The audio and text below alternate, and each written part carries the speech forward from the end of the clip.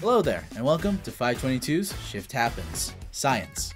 It's a small word that encompasses a lot of things, a lot of things that we love here at 522 Productions. Now, none of us here are scientists ourselves, but we work with a lot of organizations that do a lot of science, from Golden Goose to the American Physical Society. Now, a lot of questions come up when you have to work with organizations like that, such as how do you truncate 30 plus years of research into a 5 minute video? Well, I brought on one of our best producers, Shannon Glassner, and one of our best creative directors, Kyle Finnegan, to tell me all about how they managed to do it. Let's go ahead and make shift happen.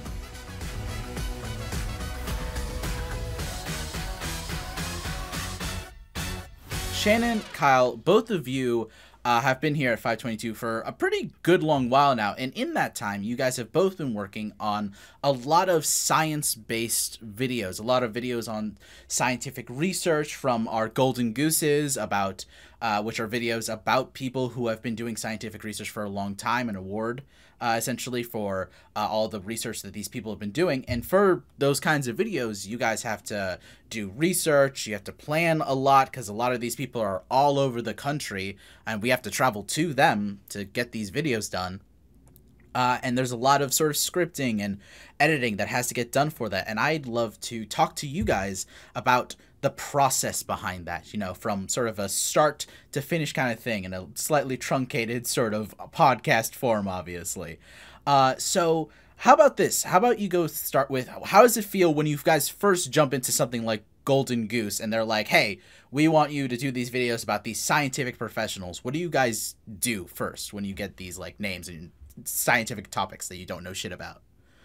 Well, First off, uh, science videos are like some of my favorite things uh, to work on. Um, I think they're so much fun, especially, you know, scientists are always themselves just like digging for what's going on in the world. And I feel like as a filmmaker, kind of like trying to do the same thing, trying to figure out like truthful stories. And just like when you put us together, it's like match made in heaven. Um, so they're always really fun. I think Shannon is generally the first person that gets to talk to our clients about like their ideas and needs for the science stories that we get to tell. So maybe she's a good good person to start that off. Mm-hmm. Yeah, I for Golden Goose specifically, every summer is right around when we get that exciting email that um, that they're ready and uh, that they have their participants and their awardees. Um, and so Kyle and I really look forward every summer to getting that. And it is like Christmas Day, Christmas in July usually, um, where I get to let Kyle know that they're ready and we have information. Um, the first thing that I learn is actually what cities these awardees are located in. Um, at this point, the information is still under embargo. Um, that even us, we kind of don't know everything yet. Um, we might even know a little bit about the research topic, um, but typically all of the information comes after we sign the contract. So that's an interesting part of the sales process is just understanding the client, the awards, and trying to get as much information as we can to understand how we're going to film and how their story is rolling out. Um, one of the main things is sometimes we don't know how many people we're interviewing. Uh, we might know that there's a few people at the core of the research, but maybe we'll want to talk to a nominator um, or another colleague who can give another perspective. Um, so that's something that we typically try to figure out before we even get all of the research information. Yeah.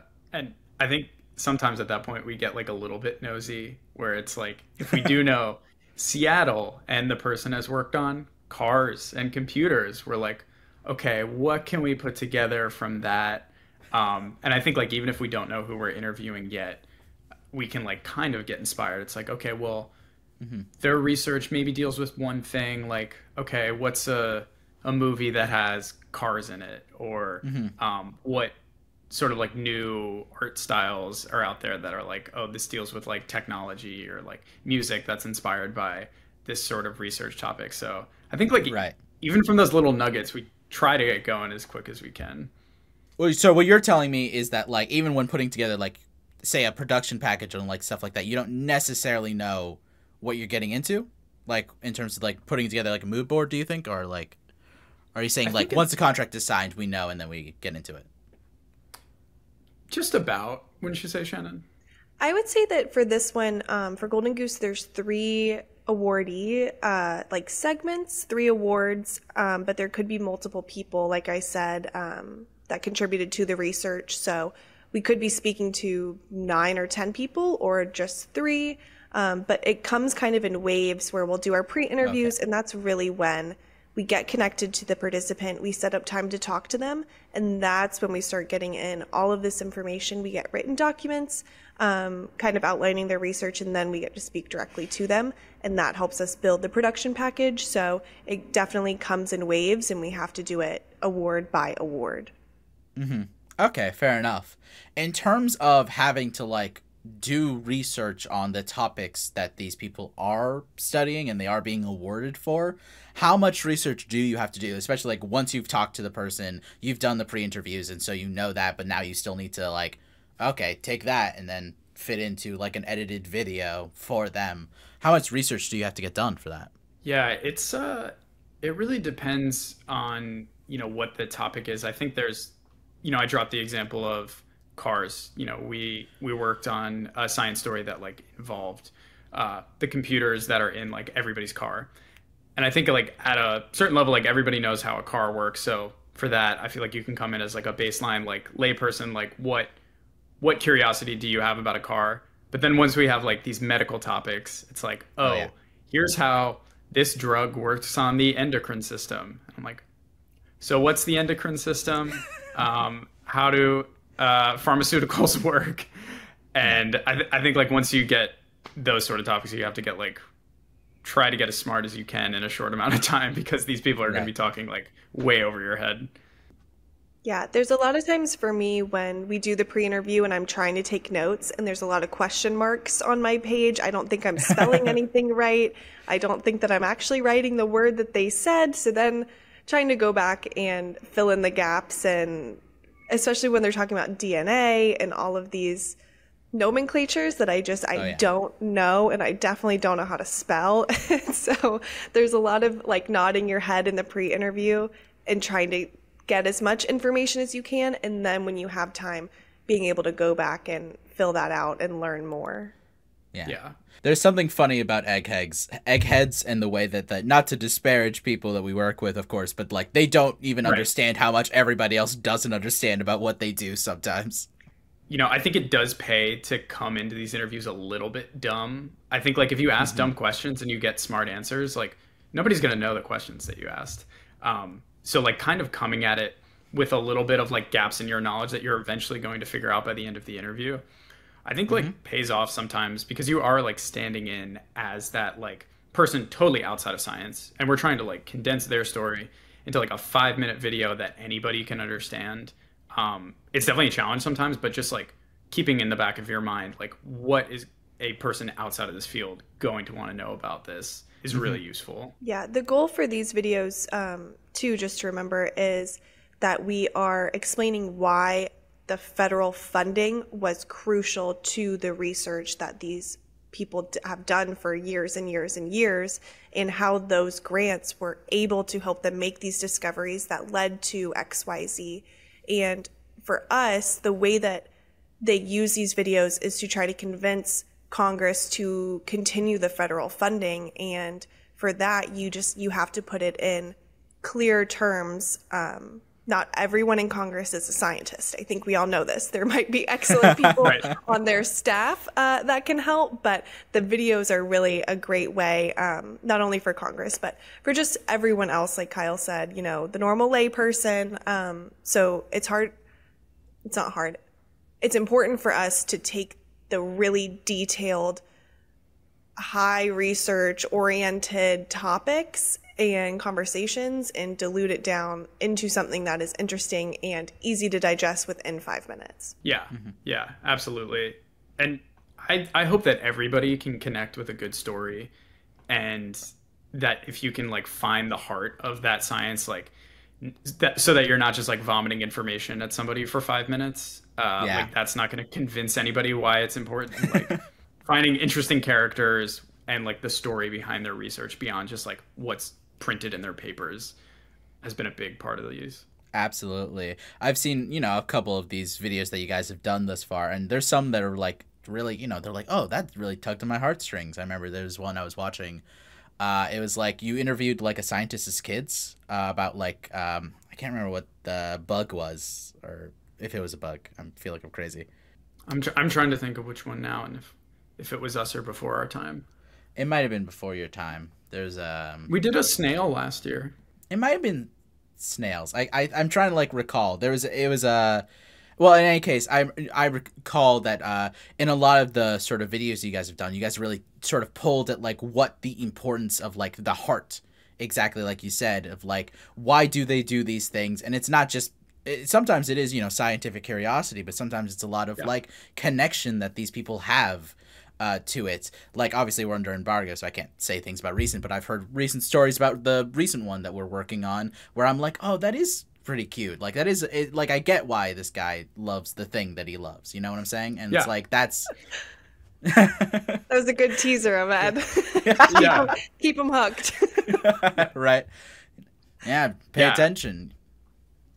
yeah i would i would say a lot of feedback that we've received too is that emotional aspect to it of these researchers themselves their family their colleagues this is a majority of the time they've dedicated their whole life to this research. Um, and maybe even their big serendipitous moment didn't happen until halfway through all their research or towards the end of their their research career. And so for us to showcase all of the work and the dedication that has gone into it it's like this living memory living tribute to them and i think that that's just something that they personally have been really thankful for um, and i'm really glad that we can kind of give them something that they can reference you know even beyond their time that is just a living testament to all of the effort and all of the dedication um, and sacrifices that they've made along the way just to show all of the great and wonderful things that it all led to. Yeah. Yeah.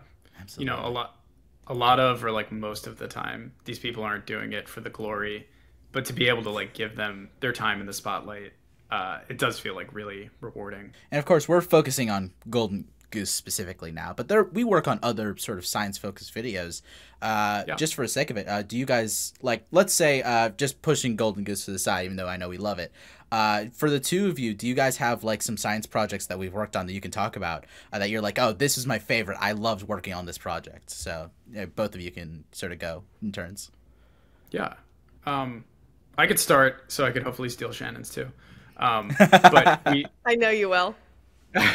we often, I mean, for a couple of years now, have worked with the American Physical Society, and um, you know, we get to highlight three awardees for them the past couple of years, um, and it's it's so interesting working with physicists because their work a lot of times is just like it's way before like the application of something they're working on something that's like probably really abstract to the general public um, Right. but has like paid dividends like down the line or has contributed to like our understanding of the universe maybe it doesn't have like a application that you'd be able to see in your daily life but they're still like contributing to you know understanding the world um, Standing on the And shoulders that's really of giants. Exactly. Yep. Yeah. Yep. Yeah. That those are really fun because it's uh, not necessarily working with something that we could see. You know, we're working with like they're talking about black holes or stars or like something like that's at an atomic level, and just like to try to make that visual, I think is really fun. We're always looking for interesting metaphors uh, to try to visualize what they're talking about um, and help us to understand what they're saying. Absolutely, and I, I would re- encourage viewers. Those are out, right? Those videos. yep. Uh, yeah, Yep. you know, uh, our viewers should, our, and our uh, listeners should absolutely go and check out uh, our American Physical Society sort of uh, videos because those were fantastic. I mean, uh, it was amazing. Like seeing the cool stuff that you guys were doing. That that was really good. Yeah, I like to say every every summer, every year, Kyle and I get a lot smarter in a lot of random subject matter. Yep. um, for me, I I also love the American Physical Society, but you know we don't repeat things here. Um, one thing for me that I have I've always had a love for um, has been our chil- Children's National Hospital videos that we've done. Um, and a lot of those are science focused, but on the medical side. Um, but what I really love is that behind every video we've done, there's an emotional story, there's real people that we've been able to talk to, to interview, and to just hear how Children's National helped them through probably the hardest times of their life. Um, one specifically is our cardiac surgery story that we've done. Um, we got to meet this family, um, and they had a lovely baby daughter. So cute. So cute. And what Children's National did is they they had a prenatal diagnosis, and then they actually performed the cardiac surgery. And she's doing wonderful and healthy, and we got to shoot a lot of lovely family video for them. Um, and I just, again, I think my favorite side is just these personal aspects that we get to tell, the emotional storytelling that we do. I think that is my favorite thing about all of the science videos. There's always Yeah. something that we can pull out and really make it human because sometimes science to me is very like out there. I don't understand it. I don't get it. It's not my line of work. And so to be able to kind of bring it down and try to give everyone a connection to a video, I think is really awesome. I think at the heart of like all science is like you know the, the you know working towards human good and stuff like that and general sort of human understanding. You know, there's a heart, there's a human heart uh, to everything science related, and so I think that's what's great about the things that you two do as like our main, basically our two science people. Um, I guess so. like uh, you guys go in and you find the heart uh, of all of our sort of videos this, these scientific videos and it's like that's i mean that's awesome that's like one of my favorite parts i love whenever uh, there's like a science video coming along i'm like ooh i can't wait to see this because i know that kyle and shannon are gonna like bust out something Yeah. amazing Yeah, no, it, it's been fun. I, I love to be able to put a face to the to the research that we've all benefited from. Um, we did two of of the back to back Golden Goose Awards. We did. Um, we interviewed four different uh, COVID uh, vaccine researchers, and I think like two years ago now, the four of them together appeared on on the cover of Time magazine, and I was like, wow, like now everybody really gets to see like the people that have be, been behind this work because all of them were working for years, you know, before anybody cared about coronaviruses. Um, and they like finally got their time in the sun and it was amazing to see. Yeah, I think that's definitely one of the coolest things that I've gotten to do at 522 is interview Times People of the Year. Like that is that's a headliner. That's pretty cool. Yeah. Um, but I think that just goes to show that at 522 we really make the effort to be subject matter experts in whatever video, whatever field we're doing. And we say it mm-hmm. all the time. We say it through the sales process, through discovery. Like we are trying to learn as much as we can and be part of the brand or the company or the research. Like we want to understand because that's how we can make the best product for our clients. We can't just go in and not listen and not learn anything and turn out a good video. That's just not Right. going to happen. Um, so making sure that we're accounting for these hours and putting in the time to learn everything, how their logos should animate, like that, all of these little things that you might not notice when you watch a video. It all just makes the process seamless, and so that we can really help out our clients and be a true connected partner with them and try to be subject matter experts. We're not perfect, but we damn try. yeah Yeah. And I think a big part of it, and I hope that this is coming through, is that like we enjoy becoming these experts for a little while. We mm-hmm. get to like spend six weeks in physics and then six weeks in biology, and you you don't have to devote an entire career to it, but you get to like learn little nuggets here, and it's super mm-hmm. fun.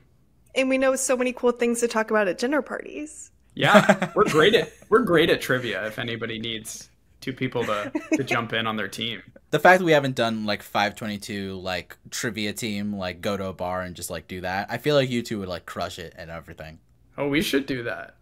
I'm Yeah, really like, as- competitive. We we need that though.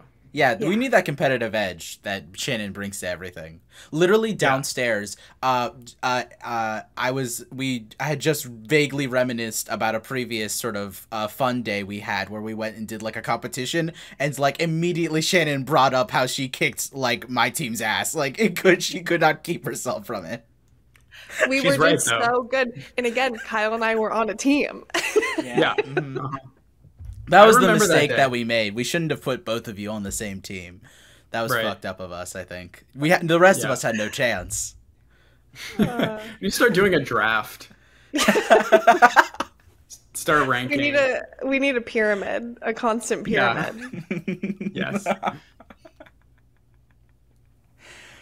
right. Well, I'm trying to figure out if what I else you got for us. us. I definitely want to. yeah, right. I'm trying to figure out if there's something else I want to like dive into real quick uh, on science stuff. I mean, there's a lot of deep stuff that I think you know a layperson will uh, probably miss. You know, it's like the editing process. There's like you know like what kind of things because i'm sure here's the other thing actually I, I did want to talk about this and i forgot is that i'm curious about like in terms of the obviously we have a sort of format that we do editing in rough cuts then fine cuts then final cuts right and then giving it to the client every time so they can double check it and i'm curious about sort of how you guys try and like because i'm sure with science stuff there's a lot of technical stuff that we have to get right right because like the yep. worst thing that we could do is like put disinformation out into the world uh you know and yep. so what do you guys how do you guys work to try and make sure that you are putting in the correct information putting it in accurately and so the, when these scientists come in and like check out our videos and uh, make sure that we're doing it okay that we don't we're not constantly having to like go like nope oopsie. Luckily the folks that we get to work with usually there's someone on the other side who can kind of fact check us. Um, so i think it's com- having conversations often with our clients or um, you know they're sending it to the scientists that we interviewed and like making sure that like you said we're not putting out some lie out there. Because it's easy to just like pull sound bites from like oh minute five of this interview plus minute 10 plus minute two like to make a complete thought when in reality mm-hmm. like those thoughts don't make any sense together even if it's like a simpler way to say something maybe we're leaving something out um, so definitely like mm-hmm. leaning on the experts there to to double check us yeah. Like I said, we're not perfect subject matter experts, but the important thing is that we ask those questions. We ask for diagrams, for graphics, for anything that can help us understand. And most of the time, our clients are more than happy to send us things. The researchers themselves, some even have written their own books and they're like, here, take a look at this. and that mm-hmm. yeah, is yeah, also really helpful just to have these guides. Um, especially when we're talking graphics, because we do include that. That is a huge visual learning aspect to the videos that we try to add into everyone.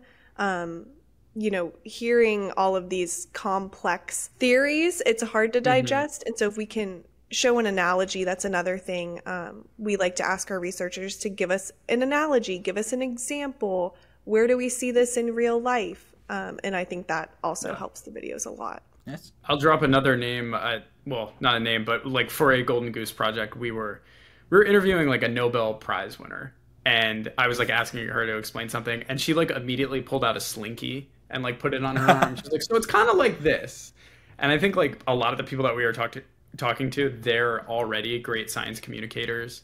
So mm-hmm. like really listening to them when they try to explain um, is like a big help to those those graphics that Shannon mentioned and like distilling it down to something easy to understand. When we have created like a really successful video, you know, it's five minutes to explain 30 years of research sometimes that mm-hmm. hopefully it's like a good teaser for somebody else to learn more about the research. I don't think we're trying to encapsulate like every part of the story or every part of the research, but you know they mm-hmm. have papers out there and websites um, and other resources that people can learn like more in depth about their work. So hopefully we're getting other people curious enough about this science to like go out and learn themselves absolutely i know that i've absolutely like seen these videos and gone like hmm, uh, and typed away on my computer to sort of look up some stuff and go like that's weird that's crazy uh, of course I, I love science i think that it's so cool and i, I love learning all the uh, you know all these scientific facts so that's absolutely uh, great uh, for me uh, getting these little truncated little bites that lead me to more uh, yeah. to to touch on uh, and yeah. things like that.